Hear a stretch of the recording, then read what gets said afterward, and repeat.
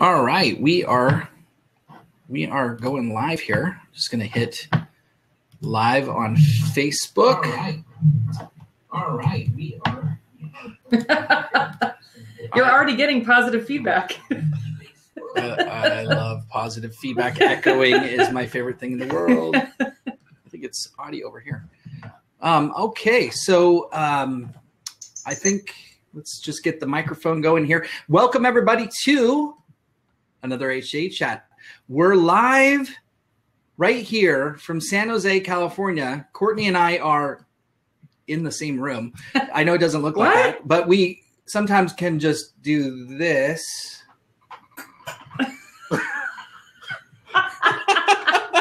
and Mitch is in between. So that was a like to be. Our hands actually passed through Mitch. Did you guys see that? Because you're not going to see it again. All right, so um, so we are really really excited here. Uh, first and foremost, this is our last episode for um, uh, before we take our hiatus for the summer. So um, we're going to be off uh, through July and back the first week of August. Um, really excited to uh, get our content in order for the next uh, season of H2H Chat. Um, we've got some really fun things coming. This is also uh, sponsored in part by Own Your Line, which is a uh, community driven membership site that helps people to uh, build their personal brands in part building their own business through lead generation, social media, and marketing activities.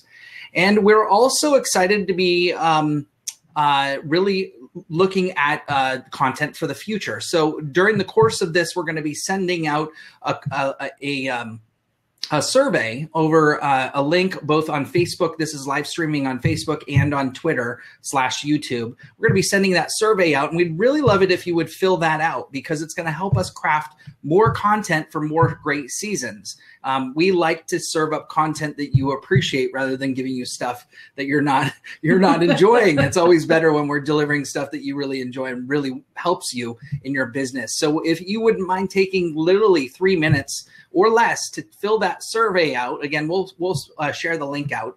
Then that would be really really helpful. So please do that, and that'll help uh, construct our next season. Okay, housekeeping is all in order. With without further ado, I'd love to introduce the guy on the screen, one of our favorite people in this world, um, Mitch Jackson. He enjoys combining law, social media, and live streaming to disrupt, hack, and improve his clients' companies, causes, and professional relationships. In addition to being an award winning 2009 Orange County Trial Lawyer of the Year and 2013 California Litigation Lawyer of the Year, he also enjoys speaking. And I know that because I have seen, uh, actually, I haven't had, I haven't been able to see Mitch speak live, but I've seen him at lots of events. We're always uh, seem to be bumping into each other at those events, which is great. Um, he's not when he's not trying cases. Mitch uses social media and technology to help good attorneys become great trial lawyers and to show everyone, not just lawyers, how to effectively communicate and negotiate, which is today's topic. Um, it's how to remain human in high stakes business negotiations. Um, such an incredible topic as you know, because we're not only focused on humans, we're focused on social media, and we're going through uh, lots of lots of different changes in social media, and that drives differences in our businesses, which is diff- I'm sure causing lots of differences in relationships. And as that happens, we need people like Mitch to help teach us what to do in those high stakes uh, areas. So his his bio goes on. I'm just going to highlight just a few more things. He's an early adopter of live streaming. I, I have to. I have to. Sorry. Why don't um, you just say he's a badass? He is a badass. We're done. He's speaking at Social Media Day in San Diego. He's been profiled by David Meerman Scott. He is an expert in in um, in, in evidence in California, and he's appeared on live video shows like Katie Katie Couric, Anderson Cooper, Seth Godin, Peter Diamandis, I think I said that right, and Gary Vaynerchuk, and his weekly own live show, The Show Live. Okay, so without further ado, how are you doing, Mitch? Welcome to the HH Chat Show. I'm doing fantastic, you guys. Courtney and Bryan, it's good to see you, and it's great to be on your show. I'm a big fan, and I feel I uh, filled out your questionnaire earlier today. So, oh, thank you for doing that. Thank yes, you for doing that. Yes, it's going to be great. But this is an exciting time to be alive. I mean, with social, with digital, with everything that's going on, you know, one of the reasons I wanted to jump on when you guys reached out is that negotiation is so important, right? Yeah. Whether we're talking about a business to customer, business to client, whether we're home on the weekend trying to negotiate with our loved ones, which what to have for dinner or what movie to see, you got to love negotiation. There's all different types of angles and approaches. Yeah, I'm actually just here to figure out how to do with my son who's 13. So mm. I'm going to give you some ideas. All right. He's the future attorney of, of the world. So that's fantastic. So, so uh, just to just to kick it off, I know that we went over your bio, but I was just curious. Um, as everyone knows, you are you're you're a lawyer that also an engage, really loves technology and how technology works, as well as social media. So the marketing aspect, the technology aspect, and then the legal aspect. How did you find um, yourself in this pa- this place where you're kind of intersecting all of these different things? Because I don't think that that's typical of the legal field in in what I've seen so far. It's not typical at all. The legal field's about 10 years behind when we're creating laws and regulations and statutes from where technology is. But Bryan, for me, it goes all the way back to my early days before practicing law, before going to law school. I've always been interested in technology. I've always been interested in digital. And we put up our first website back around 95, 96. And six months later, had a large case come into the law firm because of that website. And I've never been accused of being the brightest bulb in the lamp but when that case came in, I thought to myself, there's something about this internet thing. And so we've been actively involved, you know, on the digital platforms ever since. And I've gotten to meet great people, especially with social media over the last seven or eight years. It's really changed everything with making great connections, meeting people like you, meeting people. We have a lot of common friends in the audience. And it's just been a fun ride. And it makes my day more enjoyable. After 30 years of practicing law, my friends, uh, I'm still excited about getting up in the morning, and it's because of social and it's because of digital. Wow. Wow. I love that. I feel like I just need to ask one question to get it out of the way. Sure. Can you handle the truth? as long as my client's telling the truth, I can handle it. okay, that's all I needed to know. Look at you. I, so you're going to pull a Tom Cruise on me, are you? I am a movie buff. Great courtroom scene, by the way.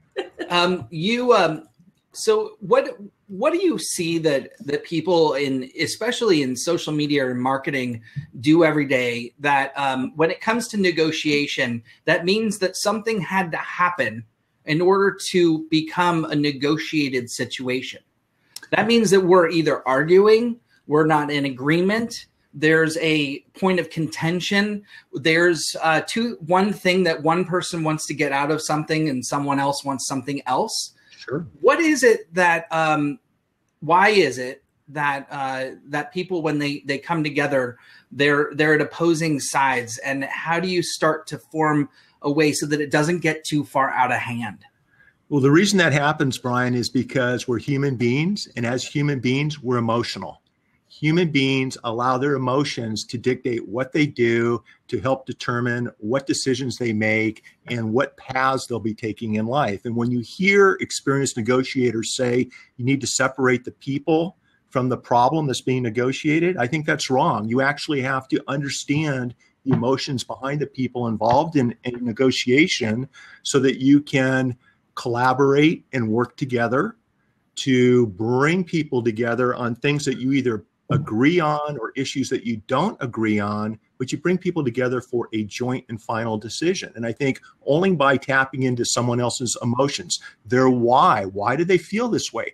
That's really what allows you to take, you know, people from different perspectives and bring them together and find a common negotiated solution or outcome. And before we get into this too far, there are five steps to the negotiation process, Bryan. I just want to share this with the audience in case we don't get through all five steps today. And the first thing is you have to focus on being a human being. That's number one. Number two, you have to prepare to succeed before you start your negotiation. Number three, you need to start your negotiation with specific intent and with a specific purpose. And we can get into the details if you'd like to. Number four, you need to engage and build rapport with everyone else involved in the negotiation. And number five, you need to close the deal. I've seen so many businesses through negotiate, negotiation, through arbitration, through mediation, do the first four steps really, really well, but they fail to follow up on the fifth step of actually closing the deal. Mm-hmm. So it's because we're human, Bryan. That's why we see so many small and large issues out there, especially on the digital platforms and especially in the business world. Do you think that that's going to change with uh, with the likes of artificial intelligence and negotiation systems that can help solve cases faster uh, by uh, delivering? Um, you know, the, and and we actually had somebody on H2H chat before that had built an AI system for negotiation, which is kind of ironic. Um, but they they ran against some challenges. I'm sure you real you know what those challenges are. Um, what do you think? What do you think about that? And and the human negotiation versus the the AI negotiation. Well, you brought up Peter Diamandis' name earlier, and we were on a show with the Wall Street Journal. And what Peter told me is he said, Mitch, I would rather have an AI lawyer that's won the last 999 cases than put all my trust in you, someone who I haven't met before. Okay. AI is the future of everything we're talking about. And when I'm speaking this Friday down in San Diego at Social Media Day San Diego, and I know you're speaking in Denver, I'm going to be talking about a cloud based AI type of system where when we're putting together our blog post, our streams, our podcast, and we're using content, pictures, audios, videos, you'll be able to take this file, upload it into a cloud based AI type of system, artificial intelligence type of system, and it will be able to tell you whether or not you're violating anybody's intellectual property rights wow. or copyrights. And that's down the road five to 10 years, depending on how exponentially fast everything happens. I see the same thing happening with the negotiation process yes, there will be tools out there that will allow AI to assist the parties, to assist the human beings in their negotiation efforts. Now, having said that, and I want you to think about remember the first computers that were taking on chess champions? You know, this is a very similar type of thing because there's more involved in negotiation than a structured A, B, C, or D. We have personalities, we have tendencies, we have uh, per, uh, emotions involved. And so until AI can wrap its head, its digital head around all of these other issues, I think humans still will be intricately, involved in the AI uh, negotiation process when it happens. Wow. So wait, when everything is up in the cloud and you can know exactly if you're violating someone's copyright that's the day that everyone cries because they realize there's no new ideas out there. I knew you were going to come back to that, Courtney, because that's going to be a game changer. It's going to save a lot of people a lot of headaches uh, with the content that they're using. And, and along the same lines, I see the cloud based AI services providing content to creators to avoid getting into an IP violation issue in the first place. Right. So, so it's going to be a very powerful tool, and I'm going to share this with the creators in San Diego because until that happens, we have to be careful with what we do. You have to be careful with violating somebody else's intellectual property rights. If you do, guess what's going to happen? You're going to need a good negotiator. You're going to need a good negotiator to keep you out of a claim with an arbitration or mediation or out of a jury trial. So that's why I'm excited about talking uh, about the art of negotiation today because I've watched it change lives. I've watched negotiations take uh, previously, you know, uh, by you know previously previous issues where people just were never going to agree, and a good negotiator. Uh, one that I'm thinking of, a retired judge, came together and brought the parties together over a period of four days. And by the time they were done, uh, one party wrote a large check to the other side, but they also gave each other a big hug at the end of the negotiation. And they are also continuing to do business today. Wow. Now, that's win win negotiation. And when I saw that happen, it was a few years ago, it really uh, re energized my, my interest in the negotiation or the art of negotiation because it can change lives, it can help businesses prosper, and it can help all of us be more productive, especially on the digital platforms. So your second step is prepare to succeed. Um, if both sides are pre- preparing to succeed, um, but one side loses, is it success? well, look, it depends on the type of negotiation. If somebody has, um, if you're negotiating the the price of a product or service that your company sells, okay, where you would like you know, uh, it to be a hundred dollars. Your customer is looking for fifty dollars, and you strike and negotiate a rate at seventy-five dollars. Is that a win? Is that a loss? What are the long-term uh, return on investment with keeping that client or customer happy over the long term? It depends on the circumstances, Bryan. Uh, when we talk about negotiation, I like to see negotiations happen where everybody loses when it's all said and done if, if if everybody's not happy with the final outcome but they agree to that outcome it's probably a successful negotiation. On the other side of the coin if somebody's taken something of my clients and we want it back we're not going to settle until we get that back. I'm not interested in making that other party or the other side happy. All i'm interested in is getting results from my client. So it kind of depends on the circumstances of why you're negotiating but to prepare for negotiation it's so important that you do your research. I understand if I was negotiating something with you and Courtney in pure matter, I would want to know the why behind what are you guys doing and what's your interest in this particular issue and what's your long-term play? What's your long-term goal? How emotionally attached are you to the issue that we're negotiating? Is this something where it's just a game to the two of you or is this something that you absolutely need to have uh, for the business to continue? And so by me understanding where the other side's coming from, it allows me to counsel my client and walk into a negotiation uh, and and do the best job possible. So each situation is different. It just depends on on the circumstances.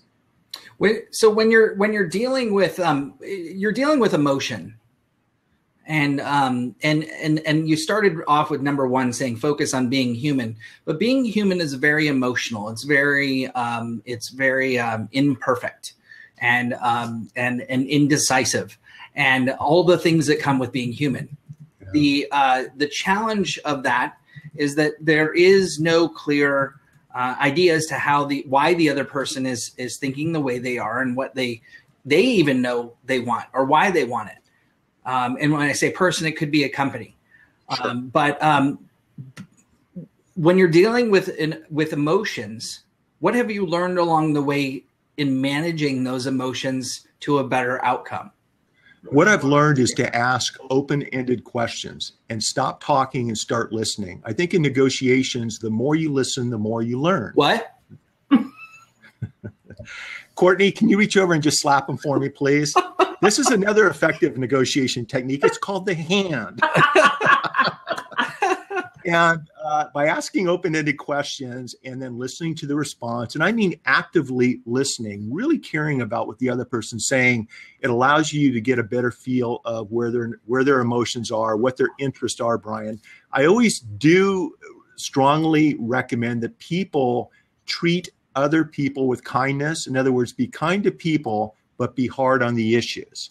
So one way you can avoid emotionally um, harming somebody or upsetting somebody or hurting their feelings is to be kind to the other person but be but be strong or hard on the issues. And that's worked really well for us. My, it's not always easy but it is always necessary. And you'll see experienced negotiators actually uh, use that technique and actually leave a room uh, before engaging somebody in a uh, one-on-one type of confrontation. I've seen negotiations become physical, mm. you know, where it's almost like going to a hockey game.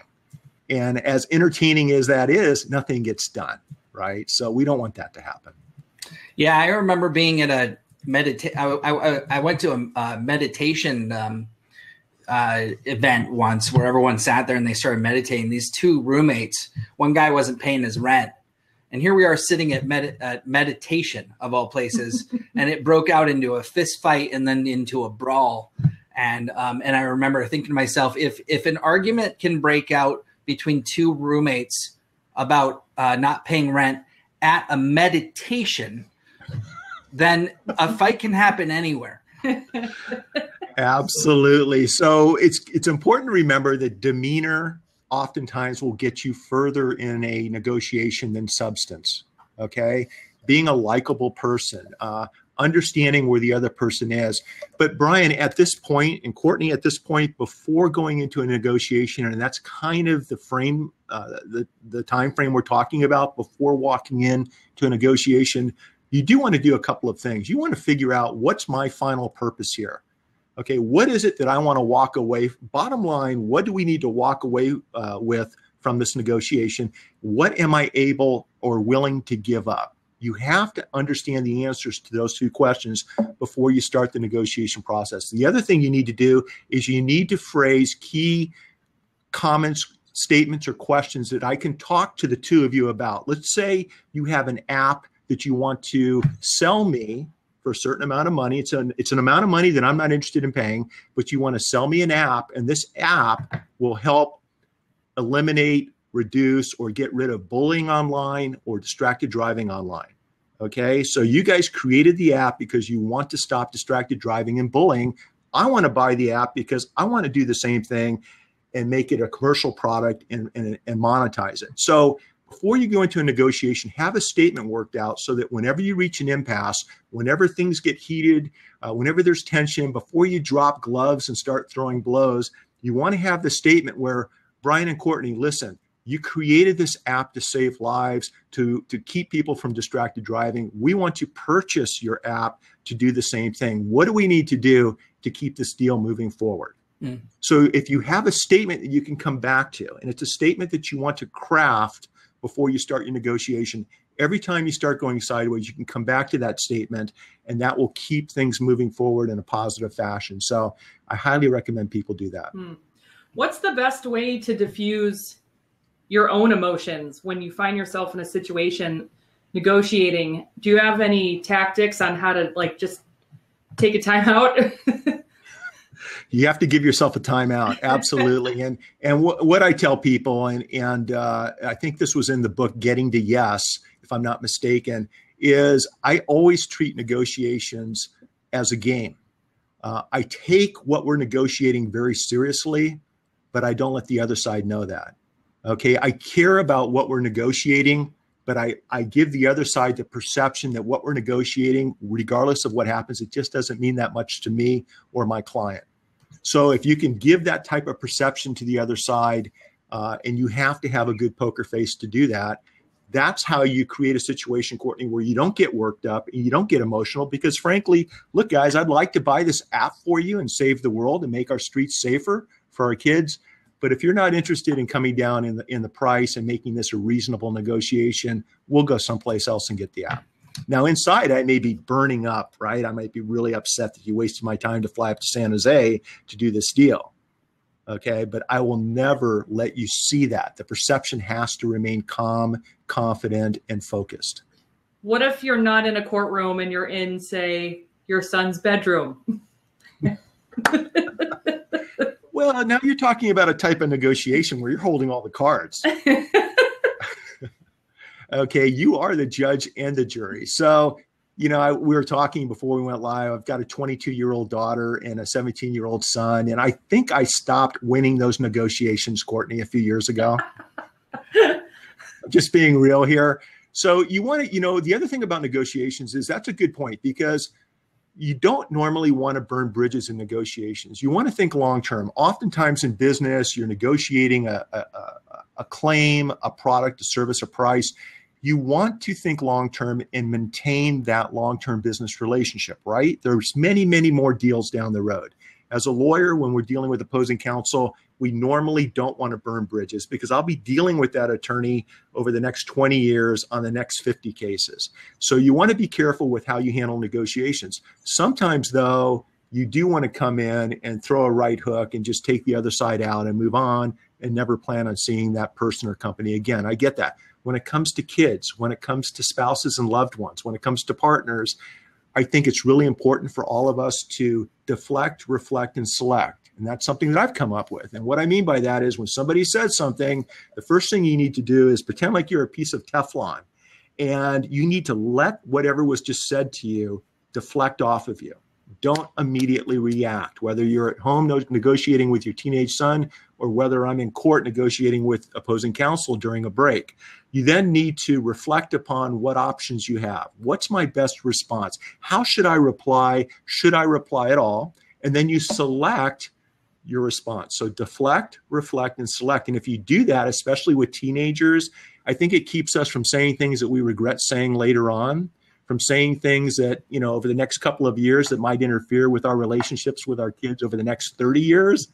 That's been my challenge. I always like to think long term. But when you figure it out, I want you to let me know and I'll have you on my show. I think we would be bazillionaires if we could figure that out. So exactly. we, we have a Q&A coming up here soon.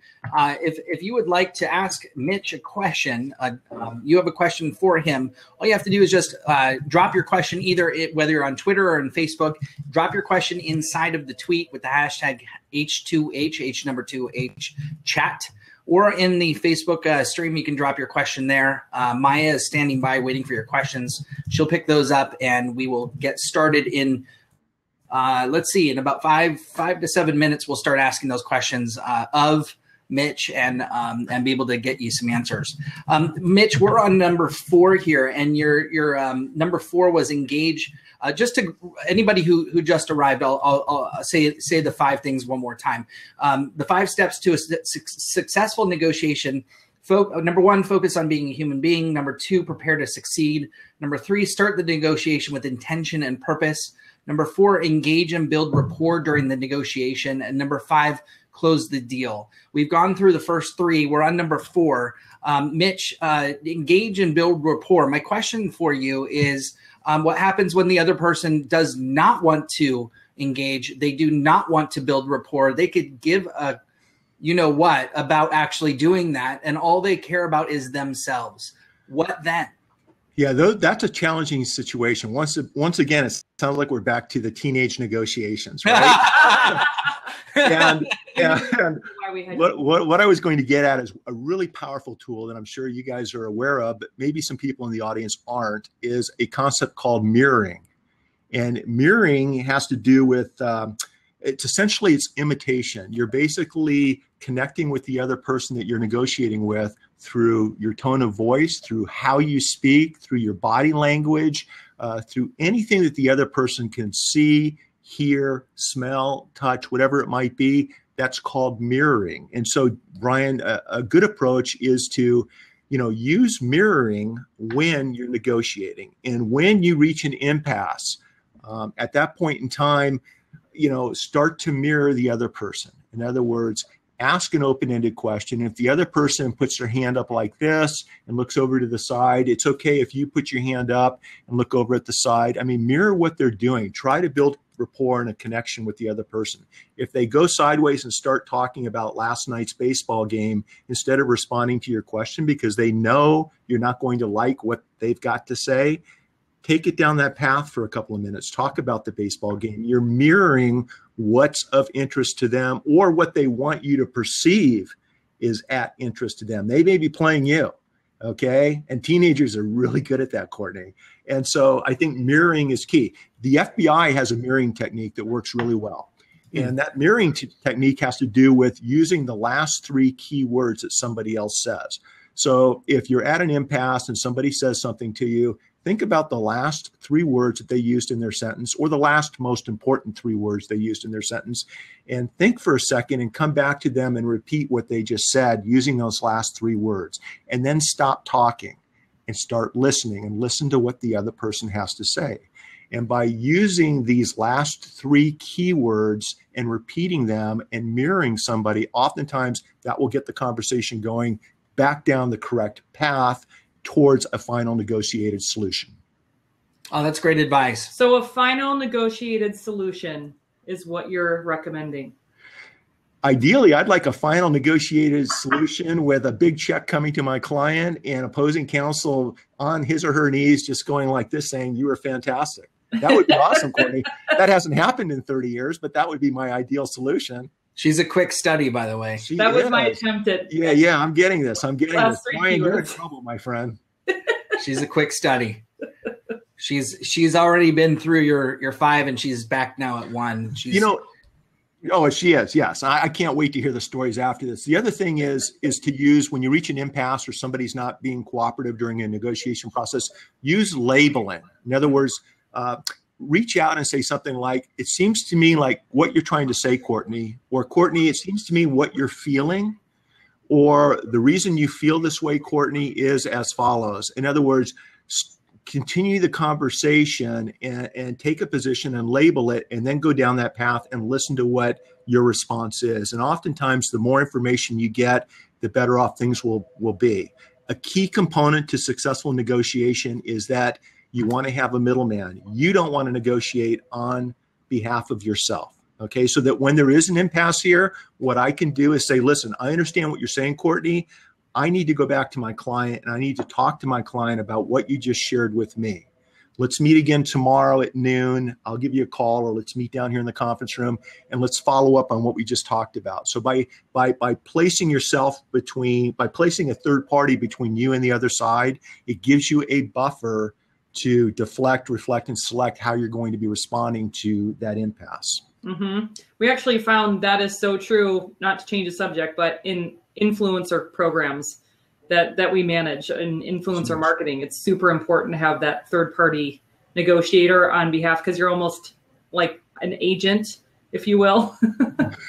it's huge. It's it's a buffer. It's a buffer that allows you not to say something you're going to later on regret. Yeah buffer that allows you to you know formalize a different type of response or maybe gain something new in, in a negotiation process that you didn't originally think about so yes having a middleman especially on the larger negotiations are the way to go so um, now we're we're in number five, and we did uh, we're we're getting a few questions here. Keep your questions coming, um, and we'll we'll get to those here in just a second. We're on number five, which is close the deal.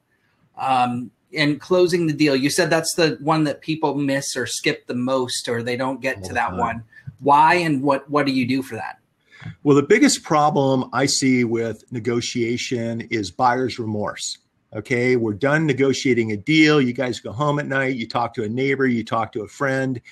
Uh, after the conversation, you start doubting the decision you agreed to is the right decision to make in this particular negotiation. So it's critically important that when you go into a negotiation, whether it's online or offline, to have your paperwork put together. So if it's a contract, once you're done negotiating and you've come to a, a specific term in that contract, you have the paperwork ready to go. You reach down, you bring it out, you write in that term, and you have everybody sign it immediately. If you're negotiating online, which by the way, I recommend you negotiate in person, uh, especially on bigger, there's just something about seeing somebody in the same room, talking to them, the human to human aspect, that's critical. But if you're negotiating online, you know, have these documents set up with an online platform like DocuSign, all ready to go. So once we're done negotiating, I meet, I reach out through DocuSign. I send you the document.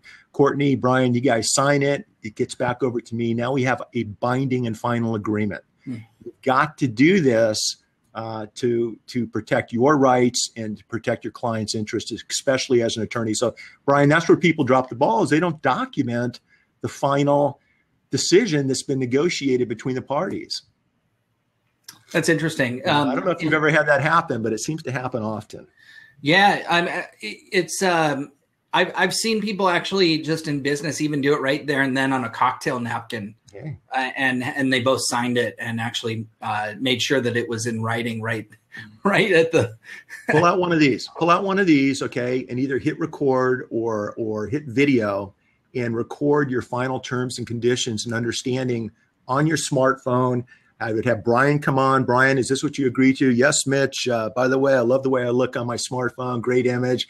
I do the same thing. And then we've got evidence. And, and generally, when you spend the time to document or video or record a final agreement to a negotiated resolution, people don't contest it. It's a done deal. And if they do, there's procedures in court where you can uh, have a summary procedure. It's a fast procedure to have a judge basically rubber stamp the conclusion that was entered into. Awesome stuff. Okay, so um, we're going to get into some questions here, um, and then we'll obviously we we're always full of questions, so we may slip some in ourselves. Um, the first question is from Jennifer Quinn, uh, our good friend Jennifer. She says, outside of obvious legal issues, what other negotiation conversations do you recommend people hire an attorney for or a mediator? I would say anything that is of major importance in your life. So we're talking primarily about business negotiations, and um, I think for me, from a negotiation standpoint, that's that's really what we're focusing on today. I will tell you that if you have the time and you're negotiating the price of a platform that you're using, or if you're going out to buy a car, or if you're going out to buy a motorcycle, having a middleman be the agent to negotiate that, whether it's a spouse, whether it's an, uh, a, a, a teenage son, whoever it might be, having a middleman, Jennifer, will really help during the process and help bring that price down. Once again, in buying a car, in paying a particular price on a social media platform, by negotiating and letting the other side know you have options and you really, you know, you really don't care if you're going to close this particular deal, those are the buttons that you can push to get the results that you're looking for. Hmm. Okay, next question is uh, from from Nazim Beltran. Um, I think he's in Italy. Uh, his, in a negotiation process, is it better to have your lawyer run the show and you stay silent, or is that detrimental towards the position that has that one has in the room? So it's 99 times out of 100, it's best, assuming you have the right lawyer, to let the lawyer negotiate on your behalf. That's the general rule. What happens, though, in many of our um, high stake seven figure negotiations is, and, and, maybe the consumers aren't aware of this, is when we go down to a uh, uh, negotiation facility or we're in our office, one party will be in one room, we'll be in another room, and that middleman, that negotiator, will oftentimes go back and forth between the rooms. So oftentimes you don't even meet the other side until the negotiation's over. Okay, so when you're in that room one on one with a retired judge, or maybe with me, and I'm that negotiator going back and forth, I want you to be yourself. Anything you talk to me about, I'm not going to communicate to the other side. Uh, so that's a more formal type of negotiation process. But I think in a one on one, if we're all in the same room together, I would suggest following your attorney's lead or following the person who's representing you, follow his or her lead. And uh, that's usually how things will things will work out better if you do that. There's there's probably a reason why you're in negotiations in the first place. It's probably something you said or something you did. So you don't need to say anything else more or do anything else. Let a professional step in and help you out. I like that. Just shut up is the. I don't know the Latin phrase for that, but yes, Courtney, I think that's probably the best way to go about it. All right, let's see. Uh, here's a question uh, from Carrie Maslin. Uh, she asks, "Are you helping your team build their authentic and ind- individual brands through negotiation?" I guess. well, but but let's talk about this for a second. You know, there's always long-term consequences to anything you say or do, and that includes in the negotiation room. People talk people in, in the business world talk about other businesses, about whether you're an upstanding, ethical um, type of person or company. And so, yes, I think it's critically important during, during the negotiation process not to bend on your ethics, not to allow yourself ever to go into the gray area of what's legal or what's appropriate or what's proper. And I actually think that's a very, very good question because what will happen over time, and it does take time, is that if you develop a good reputation, you're able to more effectively and quickly negotiate big deals. So, so that's a that's a great question. Yeah, actually, uh, maybe we want to explore a little bit more into the ethics part because I'm sure that you know if people are dealing with emotions and they're really, really invested and passionate about getting their way, then sometimes would be tempted to overstep the, the, the, lines out of the out of bounds to get what so, they want. So what we do, Courtney, is when that happens, and it happens all the time. Uh, normally, it's in an A or B type of situation. For some reason, the parties have created a scenario where our options either A or our option is B. Mm. And frankly, neither option is outside of that gray area. They're both bad options. A good negotiator will find and explain to the parties through storytelling, through example, through your body language that there are actually options C, D, E, F, and G. And so never let anybody paint you into one corner or another. There are always multiple options.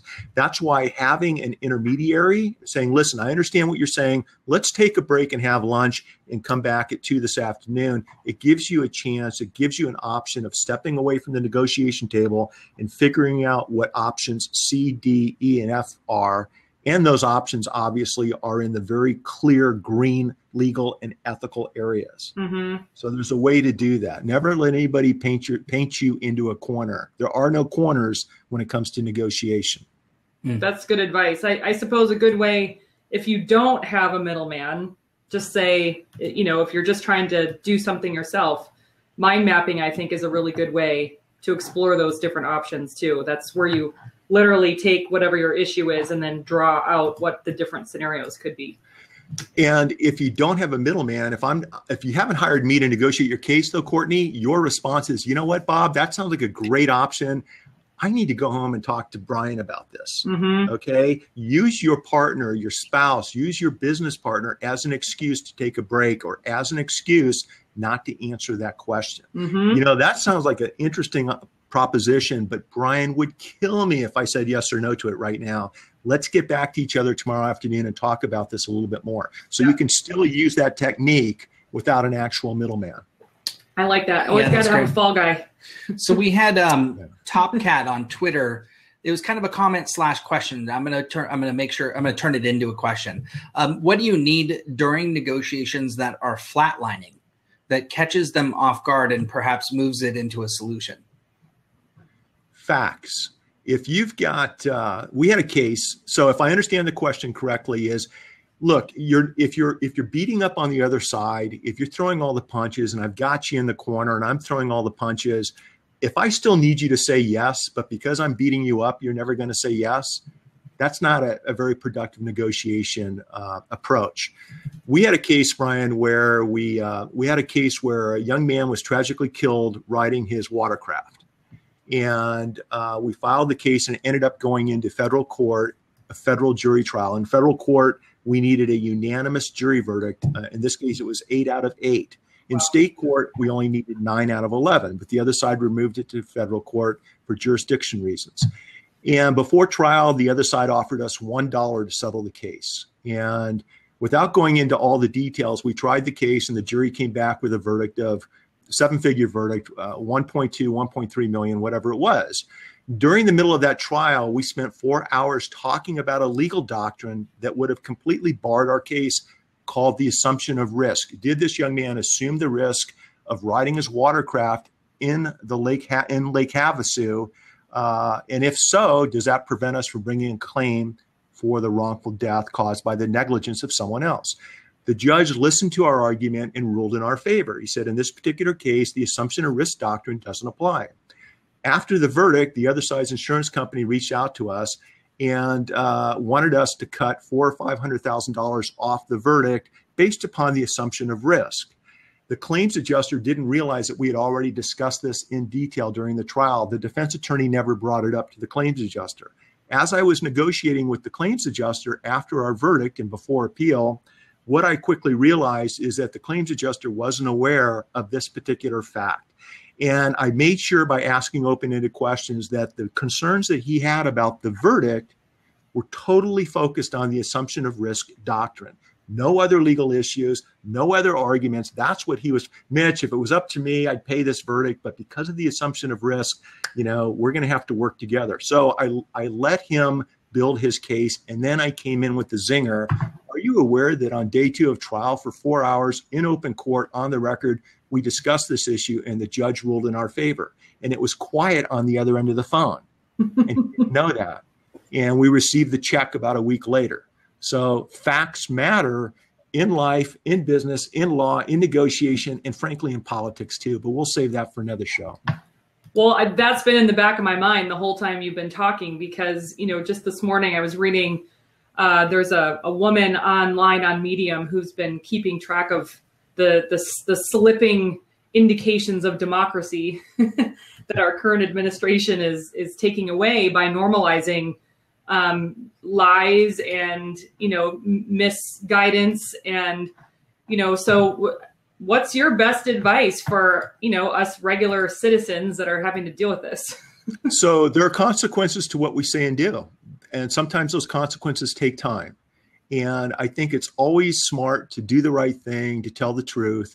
Uh, I've had I've had cases, Courtney, where we've used social media evidence in court. I had a witness on the stand who spent about 30 minutes telling the jury what a great guy he was and how he would never use these words when describing a woman. And it was every single word you could think of that was relevant in this case. Uh, let him go on and on and on. When we were done, when he was done on cross examination, I stood up and I pulled up his Facebook page. He didn't know I had his Facebook wall. And of course, everything that I asked him, I paraphrased from what he had said on Facebook. So when the jury saw that, the jurors just rolled their eyes and discounted everything that knucklehead had to say. So I think my takeaway for me is when I see people on social media saying things and doing things, whether they're commenting or they're selling products that they don't have the rights to or they're stealing other people's stuff. The long story short is there are consequences, and you know, uh, and although it may take time, I think eventually the truth does rise to the top. And uh, frankly it's every it's someone else's problem. It's not my problem. It's not your problem. It's not bryan's problem. I mean we just you just have to do the right thing. And when you see someone that's not doing the right thing i wrote a blog post about this uh, about you know doing the right thing you know don't be silent don't let other people get harmed or hurt step up and do the right thing and if you do so from your heart and if you do so with good intentions and you do so where you're trying to protect your community like we do offline with our neighborhood watches you know, uh, I think someone would be hard pressed to say that you, I, or Bryan was doing the wrong thing. You know, I this makes me um, think. My my dad growing up, he was a uh, he was a physician, and and off and oftentimes he would take care of people that uh, that were very sick and um, and and would pass away that day. And he'd come home that night. We'd sit down to dinner, and eventually it was it wasn't like he just play. Uh, you know that every day was normal, but it, it, that he would he would separate himself. I'd imagine law is the same way, and the reason that I say that is because you do do the right thing. Uh, you try to do the right thing, or even in negotiations, you try to do the right thing, but it doesn't always come out with the right person on top. Um, how do you get through that day and still sit down at dinner and say, "Man, I did my best. Yeah. It's too bad they, you know, the the the worst person, the the better person didn't win." So let me just say that we that being in the American judicial system, I happen to know for a fact it's the best system in the world.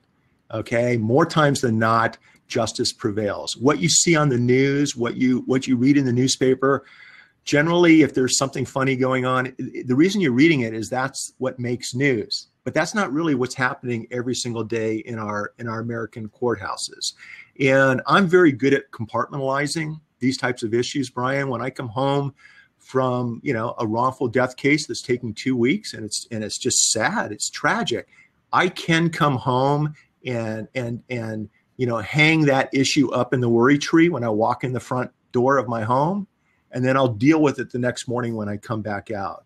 Um, my wife Lisa, who's been my partner, we've been married for 28 years, and she's been my partner for all of those years. Um, you know, she she wears her emotions on her sleeve. I mean, that's what makes her a great trial lawyer. And I think she has a, a little, you know, a bigger challenge with with not talking about it over the dinner table. So I don't know what's right or wrong. It just depends on you know what works for you. But um, it's an interest. You know, my dad told me when I told you guys off the air, I'm the first one from my immediately fam- my immediate family to go to college, much less go to law school. And I remember some buddies of mine were telling me, "Hey, Mitch, you know, why are you going to law school? There's already too many lawyers out there." And my dad, who was a very street smart cowboy businessman in Tucson, uh, said, "You know, Mitch, there's always room for another good lawyer. If you want to make a difference and make the world better, you need to get involved." And I still remember that to to this day. My dad and mom both passed away years ago, but I remember my dad telling me, "If you want to make a difference and if you want to make the world better, then." Um, then get involved. And Bryan, I know you're a Rotarian. One reason that my family, my wife and I are both past presidents of our Rotary Club. I'm the district Interact governor this year, or I was, Am until July 1st.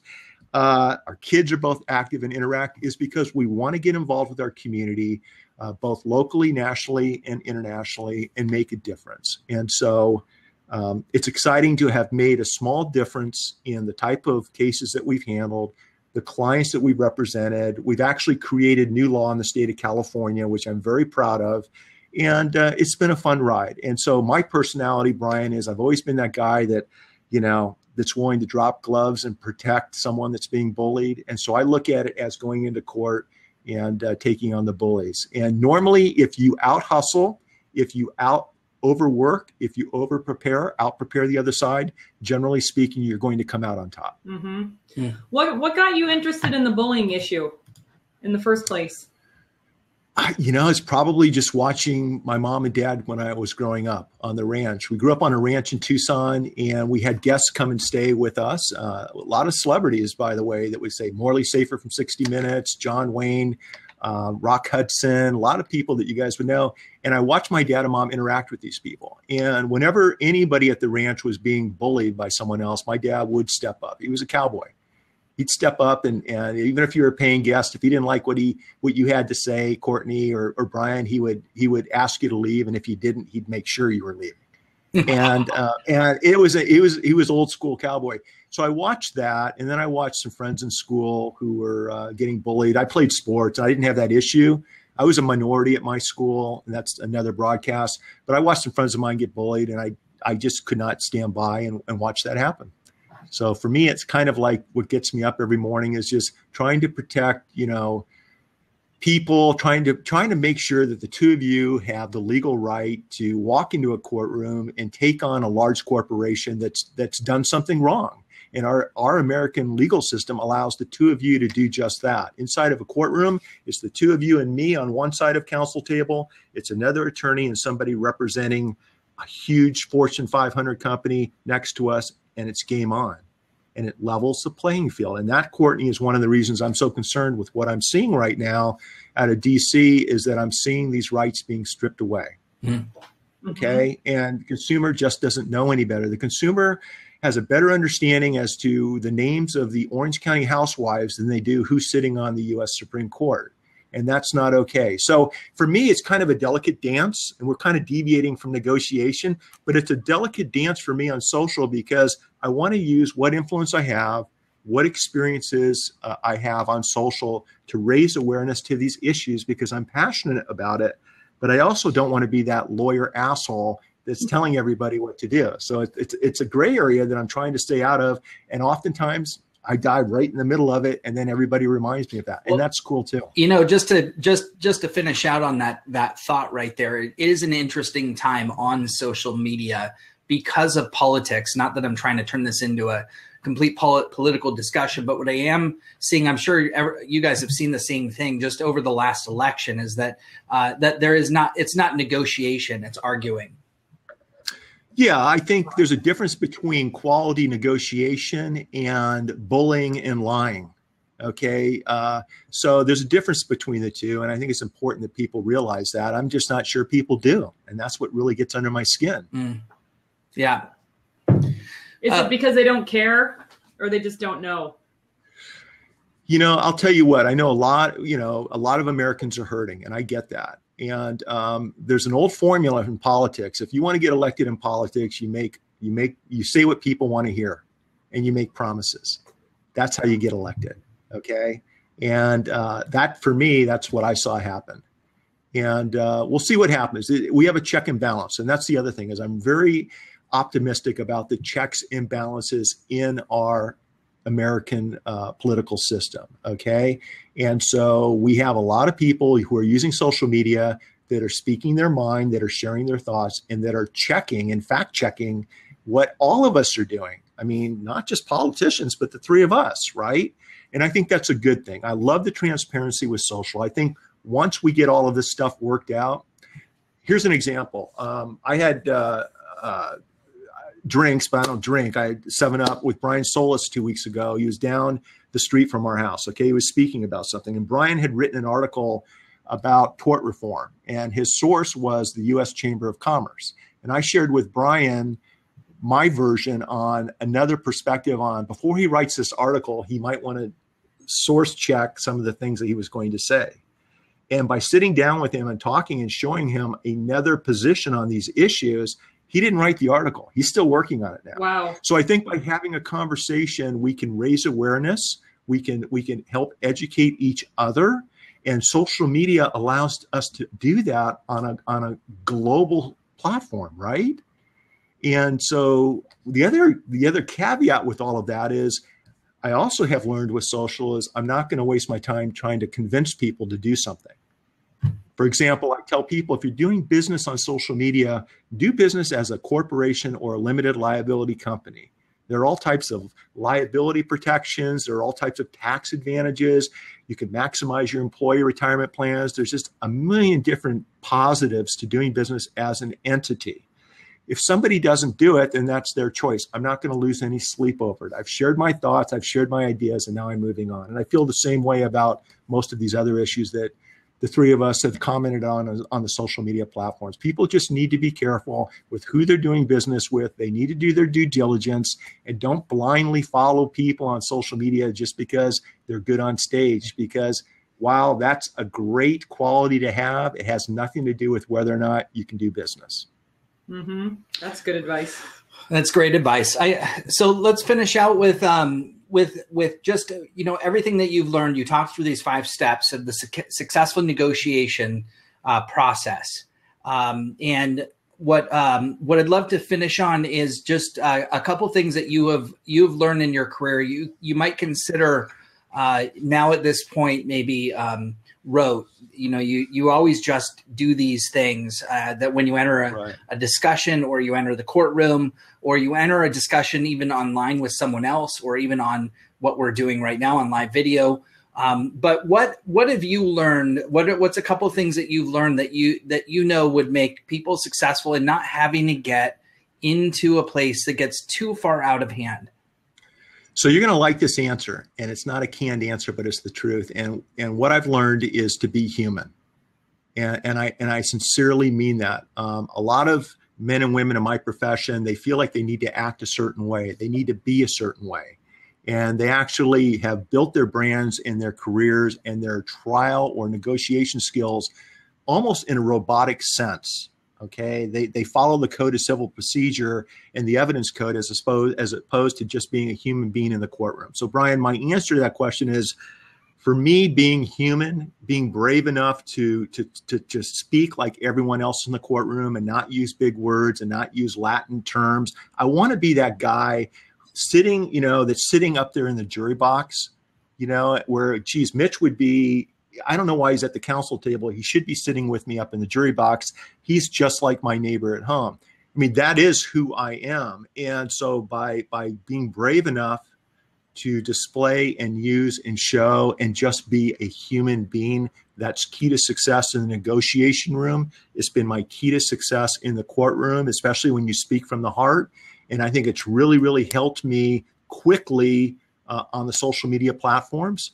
Um, build the brand and the reputation that the only brand and reputation I'm interested in building, and that's one of caring, being a human being, being honest, and trying to make a difference. So that's but it took me 15 years of practice to figure that out, Bryan. it's you know it's funny. Okay, let's put that out. It was this is not an overnight thing. Well, first of all, I, uh, Courtney, stop mirroring me. Um, so you're in trouble. You're in trouble. Oh man. So um, you it's it's it's kind of funny because I remember um, uh, the, when when you you and I are both into drones, um, and we have this kind of fun um, little messenger thing going on with John Ferrara, Brian Solis, you you you and me, I think, and um and and every time a new drone comes out, there's a message about it, and we all we all uh, get the you know shiny penny syndrome. Um, but it was funny because there was this one little uh, thing about a drone. I can't remember what it was, but it was news about how drones uh, could do like follow you or something like that. You were in court when you received it, and you said, "I just turned around and showed it to the judge, and now he wants one." And you ended up like I think dismissing the case because you guys had such rapport over this drone. And you thank yeah. me for sharing that because it was the perfect piece of information that you could share with the judge on drones. And I'm like, that is the most random piece of information I could have given you to to do something like that you know and i knew that particular judge was was interested in drones. Uh, similar story bryan. And by the way don't be the point is don't be afraid to to have a conversation with the other side. Opposing counsel bryan when i'm dealing with opposing counsel uh, on a case where i don't know the other attorney the first thing i do is pick up the phone and i call the other attorney. Or i'll use BombBomb now and i'll send a video email. And I don't talk about the case. I just call and introduce myself, uh, try to just small talk and see where the where the conversation goes. I don't even bring up our case. Okay, I want to develop rapport with opposing counsel. Had a case where there, we had a judge in Orange County that was a hardcore UCLA Bruin, and when you go into his chambers, he has all the Bruin paraphernalia, the hats, it's blue and gold, whatever the colors are. And I should know because my daughter went there. And I remember a young attorney coming coming into court, and I said, you know, when you go back into chambers, make sure you talk to the judge about USC football. He's a big USC fan, right? So this this snotty, smart aleck lawyer goes back into chambers, and he comes back out, and his face is white, and he goes, "You son of a bitch!" And I said, "What?" He goes, "He's a UCLA fan, not a USC fan." I said, "I know. I just wanted to see how observant you'd be when you went back there. I mean, how could you not notice all the UCLA fans?" so the guy the guy just got a kick out of the fact that I busted his chops a little bit and we laughed about it and we're friends today. And so it's always good to, you know, pay attention to your surroundings, figure out what other people are interested in and take those experiences into the ne- negotiation room and use them in a genuine way. We're not talking about bullshitting anybody. I mean, genuinely be interested in what other people are doing. And when you do that and you show your human side in the negotiation room, in the business world, or in court, that's where the magic happens. And give yourself permission to do all the above. Give yourself permission to be human. It's okay to be a human being. It's okay to make mistakes. It's okay not to be perfect. And once you figure that out, life is good. You're Very you're good. you're uh, preaching the choir here. We totally agree, and I know, um, and I know. really uh, appreciate you being on, Mitch. This has been a really informative, um, fun hour, uh, Mhm. and and especially uh, really good because. We, we appreciate you and, and everything that you're doing in the community just to, to raise the level of awareness for uh, for legal uh, uh, legal reasons and for everything that um, you know is is is happening right now and and what you can do to help people on on that. So where can people find you? So the easiest place to find find me, and thanks for asking, Bryan, would be streaming.lawyer. That's a blog I've set up a couple of years ago before the first social media day San Diego that I went to as a civilian. And that's where I share a lot of my social media and live streaming efforts. Uh, I'll be sharing more 360 and AR, MR, VR, and AI stuff at that particular blog. So streaming.lawyer is the best place to connect with me. Well, Nazim just said that he wishes you would practice law over in Italy in uh, um, uh, Milan. So you already have a, a, a friend in Milan. Um, Thank you. And congratulations because we trended on Twitter thanks to you and your wisdom bombs that were being dropped. Ooh, I like that. My daughter's going to roll her eyes, but I'm going to rub that. Your dad is cool like that, right? Just tell her that. Yeah. all right, Can, I, can you say I'm going to record that? Thanks so much, Mitch. Really appreciate it. Again, everyone, we this is our last uh, last one for the season. Our next season begins again on uh, the first week of August. Uh, we're just taking a sabbatical in July, um, and uh, and and we will be sharing again the the survey out. Please do take that; it helps us to plan future content for areas that we know that you're interested in learning about Mhm. and having great guests like Mitch on in the future. So thanks again, Mitch. Really appreciate you being here. And to everyone else out there, thanks for attending, for all your great questions and your comments, and for the great engagement today. Cheers, everybody. Thank you. Have a great summer. Bye bye. Bye.